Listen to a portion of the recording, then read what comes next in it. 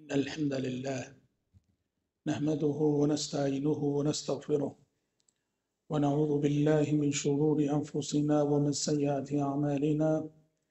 من يهده الله فلا مضل له ومن يضلل فلا هادي له وأشهد أن لا إله إلا الله وحده لا شريك له وأشهد أن محمدا عبده ورسوله. يا أيها الذين آمنوا اتقوا الله حق تقاته ولا تموتن إلا وأنتم مسلمون. يا أيها الناس اتقوا ربكم الذي خلقكم من نفس واحدة وخلق منها زوجها وبث منهما رجالا كثيرا ونساء. واتقوا الله الذي تساءلون به والأرحام إن الله كان عليكم رقيبا.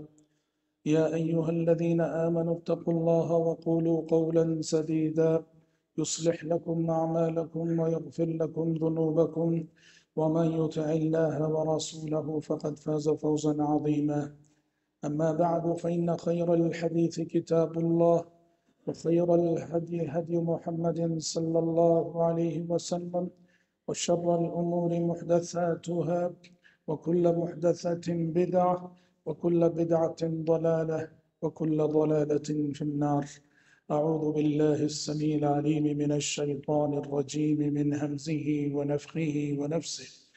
يا بني آدم خذوا زينتكم عند كل مسجد وكلوا واشربوا ولا تسرفوا إنه لا يحب المسرفين. حضرات، ابھی خطبہ مسنونہ کے بعد سورة العراف کی ایک آیت میں نے آپ کے روبرو تلاوت کی ہے۔ اللہ تبارک و تعالیٰ نے اس آیت میں بنو آدم سے مخاطب ہو کر دو باتوں کا حکم دیا ہے۔ فرمایا کہ یا بنی آدم، اے اولاد آدم خدو زینتکم عند کل مسجد۔ ہر مسجد کو جاتے ہوئے یا ہر نماز کو جاتے ہوئے لباس اپنایا کرو، زینت کے اسباب اپنایا کرو۔ وَكُلُوا وَاشْرَبُوا وَلَا تُسْرِفُوا۔ اور کھاؤ پیو پر حد سے تجاوز نہ کرو کہ انہو لا يحب المصرفین، اللہ تعالی حد سے تجاوز کرنے والوں کو پسند نہیں کرتا ہے۔ ترجمے سے آپ نے ملاحظہ کیا کہ دو باتوں کی تعلیم اس آیت میں دی گئی ہے۔ آج میرے خطبے کا موضوع اس آیت میں جو پہلی بات کا حکم دیا گیا ہے۔ خُذُوا زِينَتَكُمْ عِنْدَ كُلِّ مسجد۔ اے اولاد آدم، ہر نماز کے وقت یا ہر مسجد کو جاتے ہوئے زینت کو اپنایا کرو۔ مفسرین کرام رحمت اللہ علی مجمعین نے اس آیت کے نزول کا سبب اور پس منظر یہ بتایا ہے کہ مشرقین مکہ اسلام سے قبل خانہ کعبہ کا طواف کرتے ہوئے برہنہ طواف کرتے تھے، ننگے طواف کرتے تھے اریاں طواف کرتے تھے، لباس اتار دیا کرتے تھے، طواف کرتے ہوئے تصور یہ تھا کہ جن کپڑوں کو پہن کر ہم گناہ کرتے ہیں، ان کپڑوں کے ساتھ اللہ کے گھر میں حاضری نہیں دینی چاہیے۔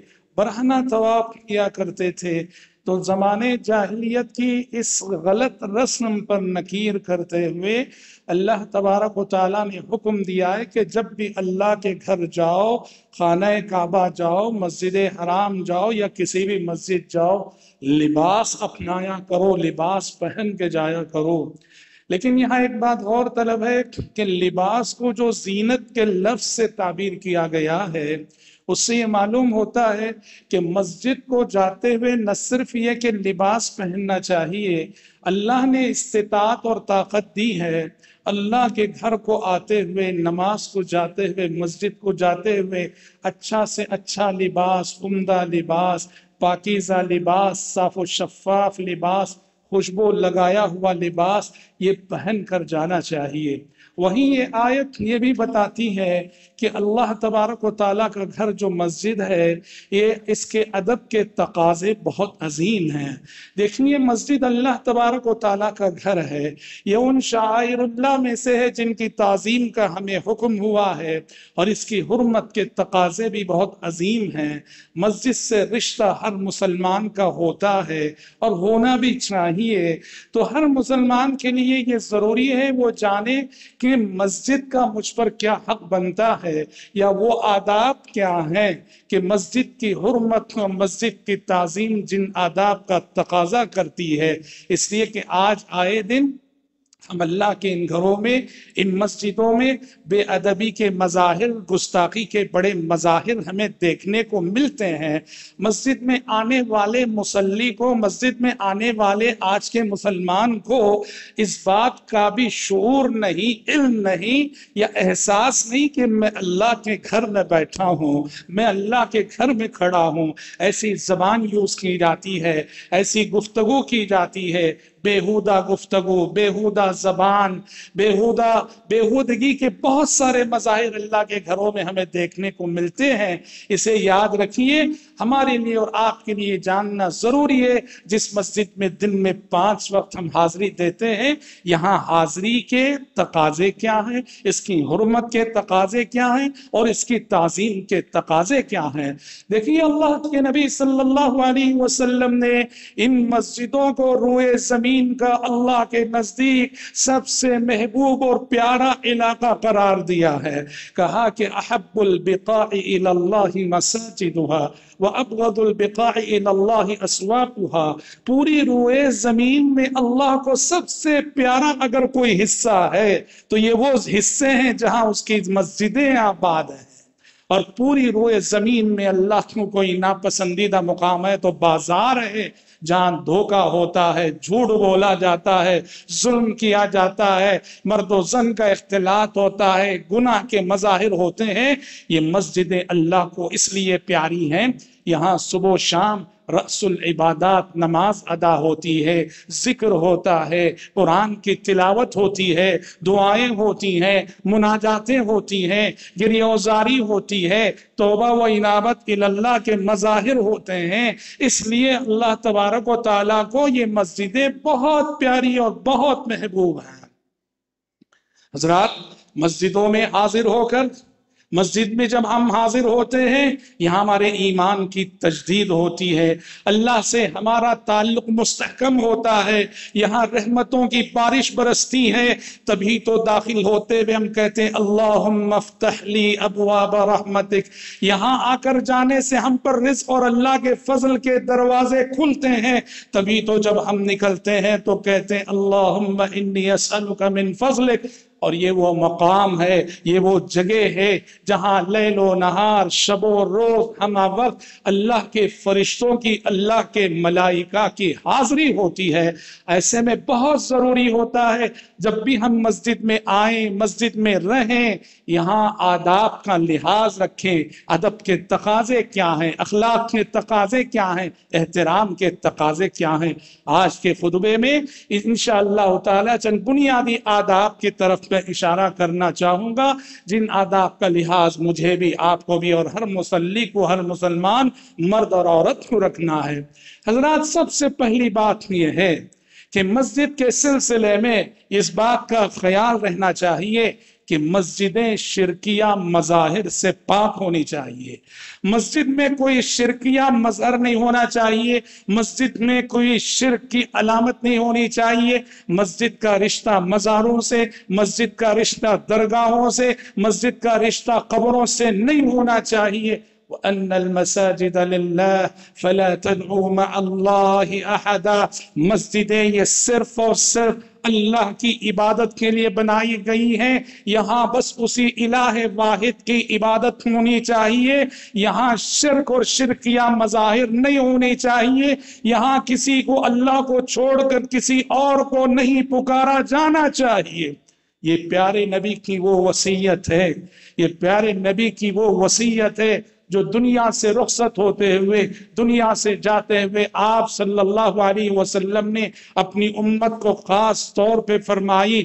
جب آخری دنوں میں، آخری جملے جب آپ فرما رہے تھے، آپ کی زبان مبارک سے جو جملے ادا ہوئے، اس میں سے ایک یہ بھی تھا، لعن اللہ الیہود والنصارى اتخذوا قبور انبیائهم مساجد۔ اللہ کی لعنت ہو یہودیوں پر، اللہ کی لعنت ہو نصارہ پر انہوں نے اپنے پیغمبروں کی قبروں پر مسجدیں بنائی۔ راوی حدیث فرماتے ہیں دنیا سے رخصت ہوتے ہوئے، دنیا سے جاتے ہوئے، پیارے نبی کے اس جملے کے ارشاد فرمانے کا مقصد کیا تھا؟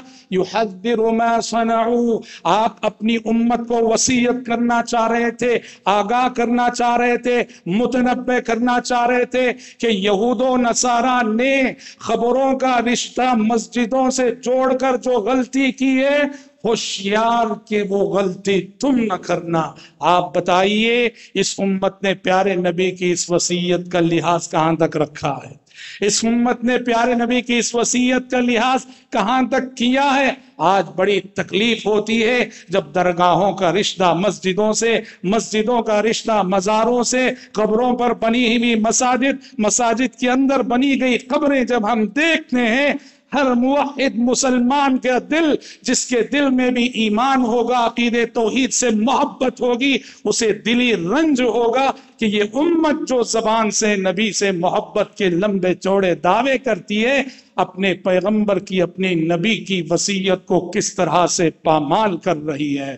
اسی طرح سے حضرات مسجد مسجد کو آنے والا ہر نمازی، ہر مسلمان وہ مرد ہو کہ عورت، اس کے ذہن میں یہ بات ہونی چاہیے۔ اللہ تعالیٰ نے اور نبی کریم صلی اللہ علیہ وسلم نے اسے یہ اعزاز بخشا ہے، آپ نماز کے لیے مسجد جا رہے ہیں۔ آپ قرآن پڑھنے کے لیے مسجد جا رہے ہیں، آپ اللہ سے دعا کرنے کے لیے مسجد جا رہے ہیں، آپ کی کیا حیثیت ہے جانتے ہیں؟ پیارے نبی نے فرمایا، مسجد جانے والا اللہ کا مہمان ہے اور رب العالمین اس کا میزبان ہے۔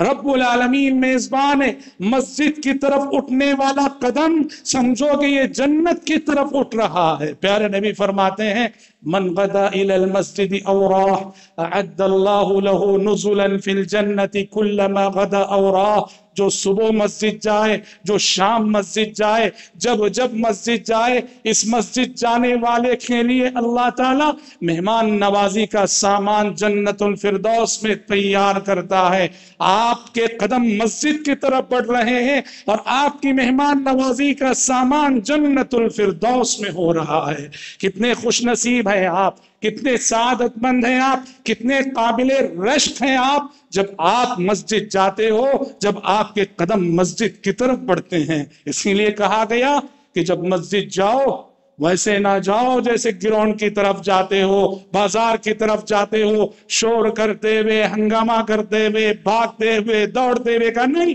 مسجد جانے کے تقاضے بہت عظیم ہیں۔ کہا، تمہارے جانے سے معلوم ہونا چاہیے کہ یہ مسجد جا رہا ہے۔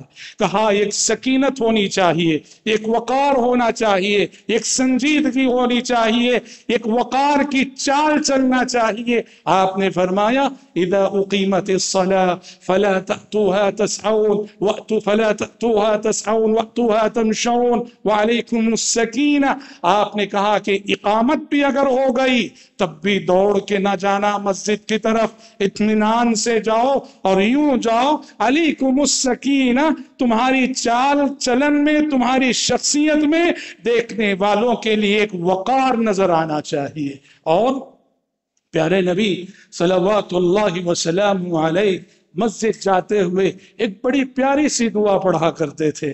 بڑی پیاری سی دعا، ذرا لمبی دعا ہے، لیکن ذرا ایک دو بار، چار، آٹھ، دس بار آپ دیکھ کر بھی پڑھ لیں گے، وہ یاد ہو جائے گی۔ بہت آسان دعا ہے، پر بڑی پیاری دعا ہے۔ جب بھی آپ صلی اللہ علیہ وسلم مسجد کی طرف جاتے تھے، آپ دعائیں نور پڑھتے تھے۔ آپ دعائیں نور پڑھتے تھے۔ کیوں دعائیں نور پڑھتے تھے؟ اس لیے کہ مسجد کیا ہے؟ یہ مرکز انوار ہے یہ۔ یہ مرکز انوار ہے، یہاں سے نور تقسیم ہوتا ہے۔ سارا معاشرہ ظلمت سے بھرا ہوا ہو۔ مسجد منور رہتی ہے، مسجد روشن رہتی ہے۔ معاشرے میں جو شرک و کفر کی ظلمتیں ہیں، تو مسجد سے توحید کا نور پھیلتا ہے۔ معاشرے میں ظلم و عدوان کی تاریخیاں ہیں، مسجد سے انصاف کا نور پھیلتا ہے۔ معاشرے میں بد اخلاقی کی ظلمتیں ہیں، مسجد سے اخلاق کا نور پھیلتا ہے۔ اخلاق کا نور نور، ایمان کا نور، صداقت کا نور امانت داری کا نور، یہ مرکز انوار ہے۔ اسی لیے پیارے نبی مسجد جاتے ہوئے دعا پڑھتے تھے، اللہم اجعل فی قلبی نورا وفی لسانی نورا، واجعل في سمعي نورا، واجعل في بصري نورا وعن يميني نورا وعن شمالي لي نورا ومن فوقي نورا ومن تحتي نورا۔ اللهم اعطني نورا۔ کیا مطلب ہے اس دعا کا؟ اے اللہ میرے دل میرے دل کو پر نور کر دے۔ میرے دل کو پر نور کر دے، میری زبان کو پر نور کر دے، میری سماعت میرے کان کو پر نور کر دے، میری بصارت میری آنکھوں کو پر نور کر دے، میرے اوپر نور کر دے، میرے نیچے نور کر دے، میرے دائیں نور کر دے، میرے بائیں نور کر دے، اور اے اللہ مجھے نور کی بارش میں نہایا ہوا انسان کر دے۔ کتنی پیاری دعا ہے۔ یہ اس دعا کا اہتمام مسجد جاتے ہوئے مسجد کی طرف قدم بڑھاتے ہوئے اس دعا کا اہتمام ہونا چاہیے۔ اسی طرح سے حضرات آداب مسجد میں سے ایک اہم ادب یہ بھی ہے کہ مسجد کو جس آیت سے ہم نے اپنی گفتگو کا آغاز کیا کہ مسجد آتے ہوئے اللہ نے اگر طاقت دی ہے، استطاعت دی ہے، پاکیزہ لباس اچھا لباس، عمدہ لباس، یہ اچھی بات نہیں ہے۔ ہم کام کے کپڑوں میں میلے کپڑے ہیں، اسی کپڑے میں آ گئے۔ نہیں، اچھی بات نہیں۔ نیند کا لباس ہے جسے ہم نیند میں پہنا کرتے ہیں، سونے کے لیے پہنا کرتے ہیں۔ نیند کے لباس میں آ گئے، اچھی بات نہیں۔ صحابہ کرام رضوان اللہ علیہ مجمعین کے ساتھ مجبوریاں تھیں، غربت تھی ناداری تھی، وہاں پیارے نبی نے اجازت دی۔ لیکن احادیث میں مضمون ملتا ہے، جب گنجائش آ جائے، استطاعت آ جائے، طاقت آ جائے اچھا سے اچھا لباس، پاکیزہ لباس، صاف و شفاف لباس پہن کے مسجد میں حاضری دینی چاہیے۔ حسن بن علی رضی اللہ عنہ، حضرت علی کے بیٹے نواز رسول ان کے بارے میں آتا ہے، جب بھی مسجد جاتے تھے، عمدہ لباس، شاندار لباس پہن کے جاتے تھے، کہتے تھے، ان اللہ جمیل یحب الجمال واتجمل لربی. کہا، اللہ جمیل ہے، وہ حسن و جمال کو پسند کرتا ہے، میں رب العالمین کے دربار میں جا رہا ہوں، میں چاہتا ہوں کہ رب العالمین کے دربار میں بند سور کے جاؤں انسانی دربار میں جب ہم جا جاتے ہیں، کسی بادشاہ کے دربار میں، کسی مالدار کے دربار میں ہم کتنا جتن کرتے ہیں، کتنا سورتے ہیں، کتنا سوارتے ہیں۔ یہ حکم الحاکمین کا دربار ہے، یہ رب العالمین کا دربار ہے۔ یہاں اور زیادہ سور کے اور زیادہ اہتمام کے ساتھ حاضری ہونی چاہیے۔ اسی طرح سے حضرات لباس کے ساتھ ساتھ حکم ہے کہ مسجد کو آتے ہوئے باقاعدہ خوشبو کا استعمال ہو۔ مسلی جو آنے والا ہے وہ بھی خوشبو استعمال کرے۔ مسجدیں، مسجدوں میں بھی اچھی خوشبو کا استعمال ہونا چاہیے۔ پیارے نبی کا حکم ہے امر رسول اللہ صلی اللہ علیہ وسلم ببناء المساجد فی الدور وان تنظف وتطیب پیارے نبی کا حکم تھا کہ ہر محلے میں جہاں مسلمان رہتے مسجد ہونی چاہیے اور کیسی ہونی چاہیے؟ مسجد پاک صاف ہونی چاہیے اور مسجد میں خوشبو کا استعمال ہونا چاہیے۔ تو لہٰذا خوشبو کا استعمال کر کے آنا چاہیے۔ لیکن یاد رہے، دو تین باتوں کا یہاں لحاظ رکھنا ہے۔ خوشبو یہاں صرف آپ اپنے ذوق کا لحاظ نہ رکھیں۔ خوشبو لگاتے ہوئے اپنے ذوق سے زیادہ دوسروں کے ذوق کا بھی لحاظ کرنا چاہیے۔ بسا اوقات ہمارے کچھ بھائی ایسی خوشبو، ایسا کوئی عطر لگا کے آتے ہیں جو اتنا اسٹرانگ اور اتنا تیز ہوتا ہے، جہاں وہ کھڑتے ہیں، وہاں سے ادھر کے دس افراد کو درد سرد اور ادھر کے دس افراد کو درد سر، ان کی لگائی ہوئی خوشبو کی وجہ سے۔ ایسی اسٹرانگ خوشبو جو عام طور پہ لوگ پسند نہ کرتے ہو یا پھر جو درد سر کا باعث بنتی ہو بھلے سے اس کا نام خوشبو ہے صحیح، لیکن وہ خوشبو نہیں، وہ درد سر ہے۔ لوگوں کو وہ درد سر لایا کرتی ہے۔ ایسی خوشبو سے احتراز کیجیے۔ اور بدبو کے اسباب سے پرہیز کیجیے، آپ نے حدیث سنی۔ پیاز کی، کچی پیاز کی بو، کچے لہسن کی بو، وہ اتنی خراب بھی نہیں، لیکن پیارے نبی نے کتنی سختی سے منع کیا کہ جو کچی پیاز کھا لے، جو کچا لہسن کھا لے، وہ اس بو کے ساتھ ہماری مسجدوں کو نہ آئے۔ مسجدوں میں کچی پیاز اور کچے لہسن کی بدبو کا معیار اگر ناقابل برداشت ہے تو آپ مجھے بتائیے، میرے اور آپ کے منہ سے اگر بیڑی سگریٹ کی بو نکلتی ہو، بدبو نکلتی ہو، اللہ کے یہ گھروں کی حرمت کتنی پامال نہیں ہوتی ہوگی۔ میرے اور آپ کے منہ سے گٹکے کی بو نکلتی ہو، اللہ کے گھروں میں حاضر ہو کر یہ چیز دوسرے مسلیوں کی نماز میں کس قدر تشویش نے پیدا کرتی ہوگی۔ بدبو کے مظاہر سے پرہیز کریں، خصوصاً وہ آپ فطری طور پر کچھ لوگ ان کے پسینے میں زیادہ بدبو ہوتی ہے۔ انہیں خاص طور پہ لحاظ رکھنا چاہیے، وہ خوشبو کے اسباب استعمال کرے جب میں نماز میں کھڑوں، ایسا نہیں ہونا چاہیے۔ میرے دائیں کھڑے ہونے والا شخص بھی تکلیف محسوس کر رہا ہے۔ میرے بائیں کھڑے رہنے والا شخص بھی تکلیف محسوس کر رہا ہے۔ اور خصوصاً نماز فجر میں جب ہماری حاضری ہوتی ہے پوری کوشش کرنی چاہیے کہ مسواک کر کے آئیں، برش کر کے آئیں دانت صاف کر کے آئیں۔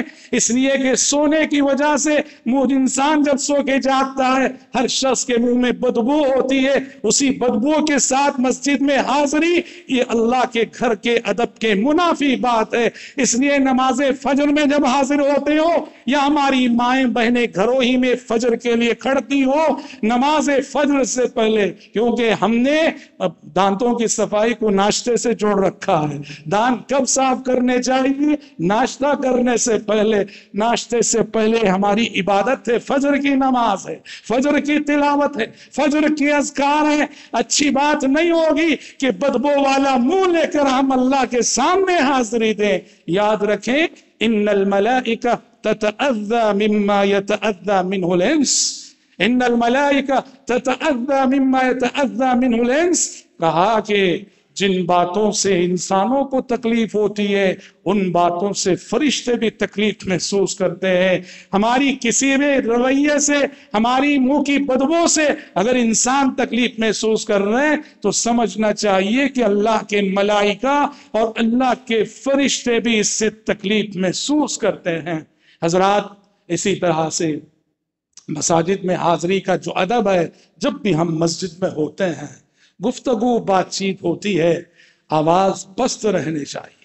آواز پست رہنی چاہیے۔ ویسے بھی عام حالات میں بھی لقمان حکیم نے اپنے بیٹے کو نصیحت کی وغزز من صوتک۔ بیٹے، ہمیشہ اپنی آواز کو پست رکھا کرو، دھیمی رکھا کرو۔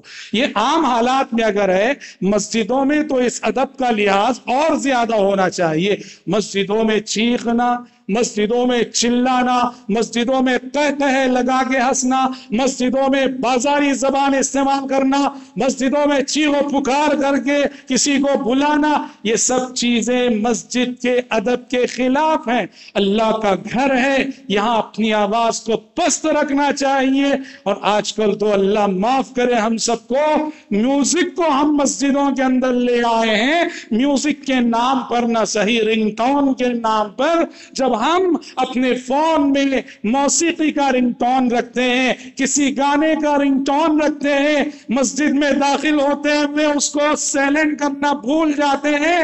تو فون کے رنگ بچتی ہے۔ نماز کے وقت جب امام تلاوت کر رہا ہوتا ہے کتنا ڈسٹرب ہوتا ہے خود امام پڑھنے والے کو، کتنا خلل ہوتا ہے پوری مسجد کے نمازیوں کی نماز میں۔ اس لیے محترم بھائیوں، اپنا رنگ ٹون سب سے پہلے تو سادہ رکھا کرو، سادہ رکھا کرو۔ اور دوسرے، مسجد میں جب بھی آتے ہو، اپنے موبائل فون کو بند کرنا نہ بھولو۔ انسان ہے، کبھی بھول ہر ایک سے ہو جاتی ہے۔ سادہ رنگ ٹون رہا۔ زیادہ پریشانی نہ ہوگی، لیکن سوچو کہ گانے کا رنگ ٹون میں نے رکھا ہے اور وہ این تلاوت قرآن کے وقت این نماز کے وقت وہ رنگ ٹون بجے میں کتنا بڑا مجرم رہوں گا اللہ کے سامنے اور کتنا بڑا گنہگار اور کتنا بڑا خطا کار رہوں گا اللہ کے سامنے۔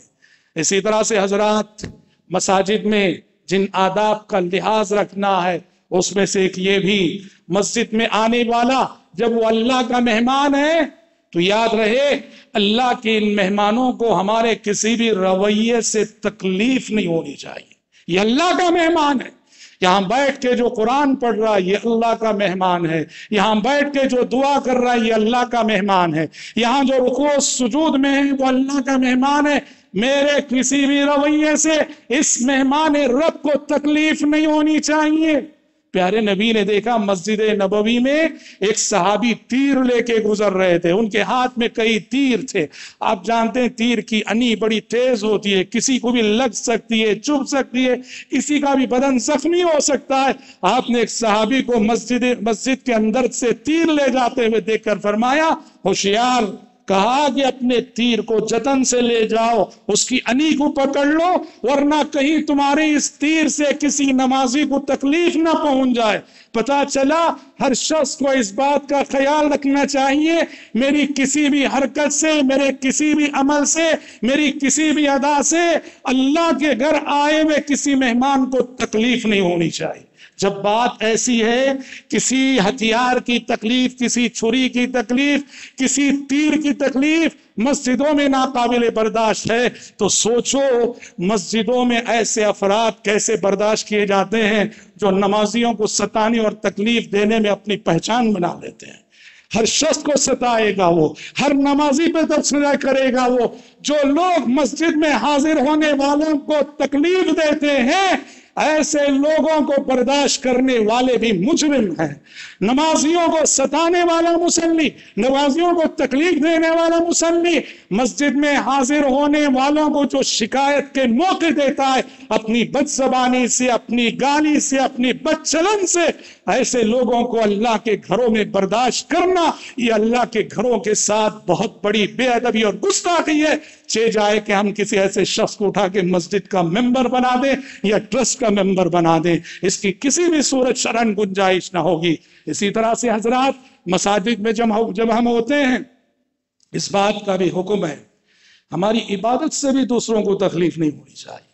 ہماری عبادت سے بھی تکلیف نہیں ہونی۔ عبادت سے کیسے تکلیف ہوتی ہے؟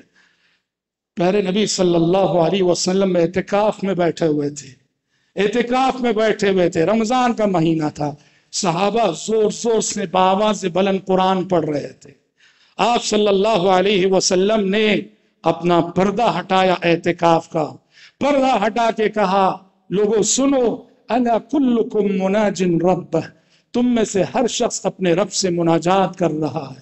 تم میں سے ہر شخص اپنے رب سے سرگوشی کر رہا ہے۔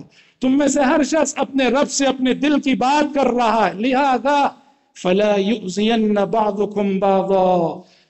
بلند آواز سے قرآن پڑھ کے، بلند آواز سے تلاوت کر کے دوسروں کی عبادت میں خلل نہ ڈالو۔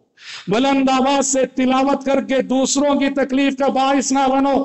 فلا يؤذين بعضكم بعضا ولا يرفع بعضكم على بعض. تم میں سے کوئی اپنی آواز کو اپنے بھائی کی آواز سے بلند نہ کرے. مطلب یہ ہوا کہ ہماری عبادت سے بھی، ہماری تلاوت سے بھی، ہماری دعا سے بھی آزو بازو ہمارے جو عبادت میں مصروف ہیں، انہیں تکلیف نہیں ہونی چاہیے اور ان کی عبادت میں خلل نہیں ہونا چاہیے. اسی طرح سے حضرات، جن آداب کا لحاظ مسجد میں حاضری کے وقت ضروری ہے، اس میں سے یہ بھی کہ مسجد میں جب بھی آئیں، غلط ہے کہ اگلی صفیں خالی ہیں اور میں پیچھے کی صفوں میں بیٹھوں؟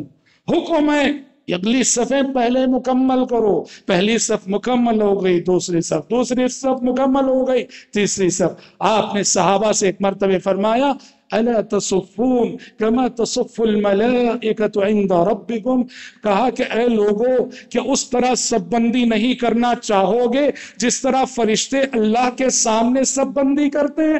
صحابہ نے کہا، اللہ کے نبی، فرشتوں کی سب بندی کا طریقہ کیا ہے؟ کہا، یتمون الصف الاول ویتراسون فرشتوں کی سب بندی کی صفت یہ ہے کہ وہ اگلی صفوں کو پہلے مکمل کرتے ہیں۔ پہلی صف میں خالی رہتے ہیں، وہ کبھی دوسری صف میں نہیں کھڑے ہوتے، وہ اگلی صفوں کو مکمل کرتے ہیں، وہ اعتراض اور مل جل کے کھڑے ہوتے ہیں۔ بنیان مرسوس سیسا پلائی ہوئی دیوار کی مانند صفوں میں مل کے کھڑے ہوتے ہیں۔ تو پتا چلا کہ سب بندی کا جو طریقہ ہے، سب بندی کی جو سنت ہے، اس کا لحاظ رکھنا چاہیے۔ اور حضرات، ہمارے ملک کی حالات کے تناظر میں آداب مسجد پہ جب گفتگو ہو رہی ہے، ایک اور بات بتانا میں بہت ضروری سمجھتا ہوں، وہ یہ ہے کہ اپنی مسجدوں کو اللہ کے لیے سیاسی اکھڑا نہ بناؤ۔ مسجدوں کو سیاسی اکھڑا نہ بناؤ۔ کتنے افسوس کے ساتھ ہمارے ملک کی کتنی مسجدوں میں یہ ماحول ہے۔ مسجد سے باہر ہم سیاست کو لے کر دو دھڑوں میں بٹے رہتے ہیں۔ میں کسی پارٹی کا ہوں، میرے پیچھے ایک تعداد ہے، آپ کسی پارٹی کے آپ کے پیچھے ایک تعداد ہے۔ مسجد کے باہر ہم دو دھڑوں میں بٹے ہوئے، وہی اختلاف، وہی سب بندی، وہی پارٹی بازی، وہی گروہ بندی مسجد کے اندر بھی ہوا کرتی ہے۔ اللہ کی گھر کی شان میں یہ بہت بڑی بے ادبی ہوگی۔ سیاست کی گندگی کو، سیاست کی خلافت کو، سیاست کی نفرت کو، سیاست کی دشمنیوں کو ہم اللہ کے گھروں کے اندر لے آئے۔ اور اس سے بری بات یہ ہوگی، اس سے بری بات کہ الیکشن کے دنوں میں، انتخابات کے دنوں میں بعض مسجدوں میں دیکھا گیا باقاعدہ امیدوار کو حاضری کی اجازت دی جاتی ہے اور وہ باقاعدہ مسلیوں سے جمعہ بعد ووٹ مانگتا ہے۔ اس ملک میں یہ سب ہوتا ہے۔ للہ، اپنی مسجدوں کو سیاسی اکھاڑا مت بنائیں گے یہ اللہ کا گھر ہے۔ ہاں مسلمانوں کی مصلحتیں ہوتی ہیں، مسلم معاشرے کی دوسری مصلحتیں ہوتی ہیں۔ ان مصلحتوں کے پیش نظر خدمت خلق کے جذبے سے کوئی میٹنگ ہو گئی، الگ بات ہے۔ لیکن سیاست جہاں موجودہ دور میں سیاست کا جو چہرہ ہے اور سیاست کا جو معیار ہے، وہ آپ جانتے ہیں، اس ماحول کو مسجد کے اندر لانا، یہ کسی بھی صورت ہمیں زیب نہیں دیتا۔ اللہ کے گھر کی شان میں یہ بہت بڑی بے ادبی اور گستاخی ہوگی۔ تو بہرحال ہر قسم کی غلازت مانوی غلازت ہو، مادی غلازت ہو مانوی نجاست ہو، مادی نجاست ہو، اللہ کے گھر کو ہر قسم کی نجاست سے پاک رکھنا چاہیے۔